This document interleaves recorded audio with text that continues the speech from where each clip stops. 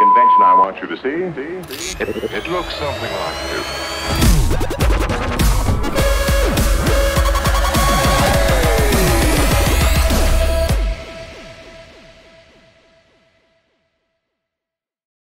Questa settimana è la settimana di Pasqua e noi vi proponiamo il bilancio della stagione teatrale di Cortona con l'ultimo botto, la PS con Sergio Castellitto e poi i consigli per il cinema di Luca Bindi con una sorpresa che riguarda la nostra emittente.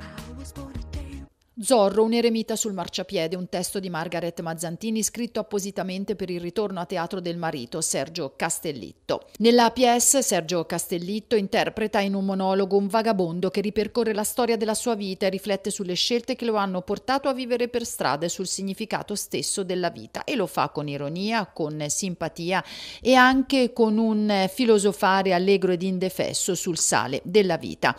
Uno splendido Sergio Castellitto, lungamente applaudito al Teatro Signorelli di Cortona dove si è esibito in doppio appuntamento.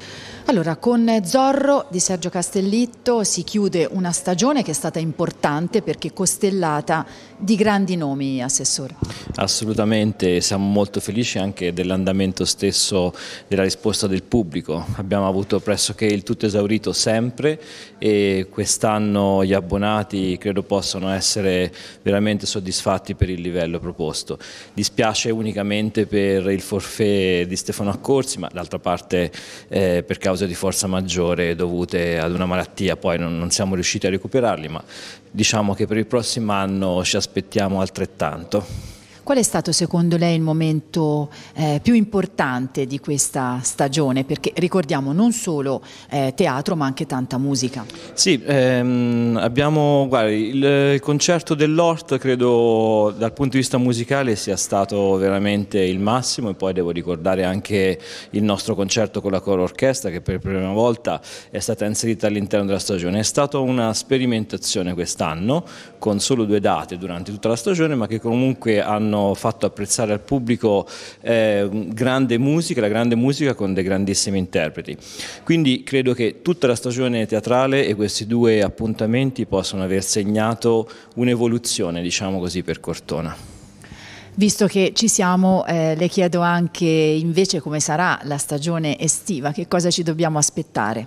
La stagione estiva sarà costellata di tantissimi eventi, molti di essi saranno legati ovviamente a Signorelli 500 che prenderà il via il 23 giugno, eh, però ehm, ci saranno molte iniziative anche all'aperto, eh, pensiamo appunto di riportare la piazza a vivere e quindi ci stiamo preparando. Eh, certamente eh, Signorelli 500 è stato un grandissimo sforzo ed è per questo che dobbiamo diciamo, celebrare degnamente questa grandissima figura di Cortona.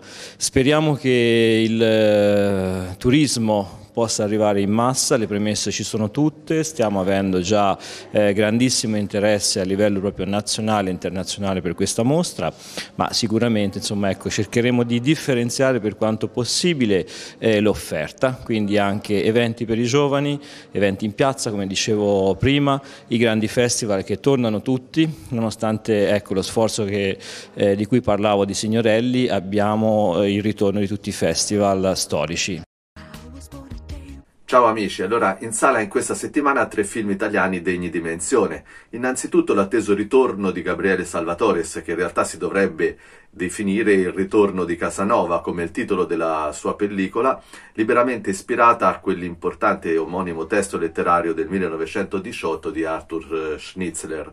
Il film parla però in qualche modo, riflette sullo scorrere inesorabile del tempo e del cinema come specchio, come possibile, anche se non immediato, strumento di liberazione. Infatti viene messa in scena la crisi di un regista, qui interpretato da Tony Servillo, non più giovane, che sul set della sua ultima fatica si è anche innamorato di una ragazza molto più giovane di lui che lo ricambia, ma che non risolve la sua crisi perché gli accentua proprio il senso del distacco da quell'età. Sullo sfondo, in continuo specchio, è il montaggio del suo ultimo film di questo regista, appunto Tony Servillo, che è Il ritorno di Casanova, che parla della crisi, anche, anche in questo caso, e del tempo che passa per l'amatore più conosciuto e più mitizzato del, de, della storia, che è il Giacomo Casanova, qui interpretato in questo film, nel film, da Fabrizio Bentivoglio.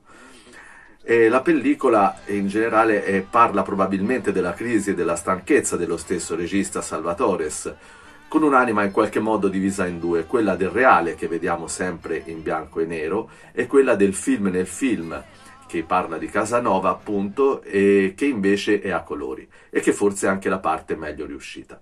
Sullo scorrere del tempo è anche la seconda opera di finzione di Walter Veltroni, un film che si intitola Quando, tratta dal suo omonimo romanzo e interpretato da Neri Marco Re, personaggio che si risveglia quasi metaforicamente, diciamo dopo 40 anni, eh, da un coma che lo ha colpito nel 1984 e troverà le persone, il mondo, la politica del tutto cambiate. Il film è un film pacato, poco ribelle forse, in cui la speranza di poter recuperare ideali, valori comunque resta nel protagonista. Il terzo film che segnaliamo è l'opera prima invece di Beppe Fiorello, decisamente degna di nota perché ha il coraggio di affrontare con delicatezza una storia d'amore tra due adolescenti, Giorgio e Tony Antonio, qui nel film Gianni e Nino, e di raccontare l'omofobia, l'omertà che nella Sicilia dei primi anni Ottanta li vide uccisi mano nella mano in quella che la storia ricorda come il delitto di Jarre. Il titolo di, di questo bel film, che affronta in definitiva la difficoltà di crescere di due adolescenti in un'epoca e in una cultura patriarcale e anche dell'omofobia che quasi dopo, dopo quasi 40 anni comunque eh, rende questo film molto attuale. Questo titolo appunto è tratto da una bellissima canzone omonima di Franco Battiato in dialetto siciliano. Vi lascio quindi e vi auguro buona Pasqua, buona settimana, a presto. Ciao a tutti.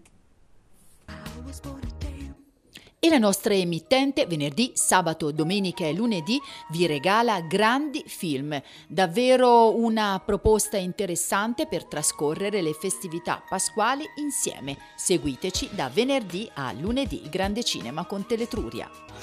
Ed è tutto anche per questa settimana. Arrivederci alla prossima. Want you to see. It, it looks something like this.